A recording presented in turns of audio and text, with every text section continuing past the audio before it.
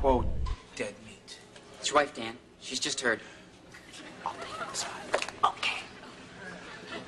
Hold on. No, I, I don't seem to be suffering from any physical damage. But What? Hello, Lionel. I'm Lord Vader. I waited for an hour.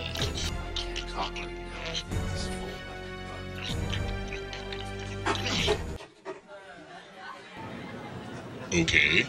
Would you like to meet me after work? My shift ends at 6 a.m. and I need $3,000. This is bullshit. Oh. Oh, I understand. Sure. You did not arrive for our second date last night. Ciao.